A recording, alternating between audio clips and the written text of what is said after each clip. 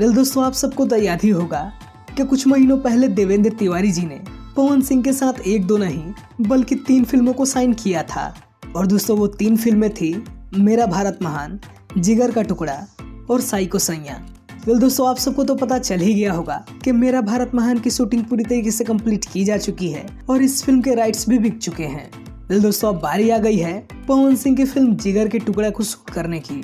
दोस्तों, एक बहुत बड़ी अपडेट आ रही है कि पवन सिंह की इस फ़िल्म की शूटिंग बहुत जल्द शुरू होने वाली है।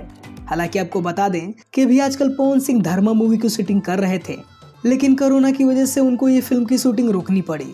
वेल दोस्तों, इस फ़िल्म के डायरेक्टर देवेंद्र तिवारी जी ने ये अपडेट दी है कि धर्मा फ़िल्म की शूटिंग कंप्लीट होने के बाद देवेंद्र जी पवन सिंह के साथ इस फ़िल्म की शूटिंग करेंगे। वेल दोस्तों, अगर बात की जाए इस फ़िल्म की तो दोस्तों, इस फ़िल्म में पवन सिंह और गुंजन सिंह की जोड़ी नज़र आने वाली है। दोस्तों, ऐसा पहली बार होगा कि पवन सिंह और गुंजन सिंह एक साथ नज़र आएँगे। दोस्तों, इस फ़िल्म को प्रोड्यूस कर रहे हैं अजीत सिंह जी और इस फ़िल्म को डायरेक्ट कर रहे हैं देवेंद्र तिवारी जी।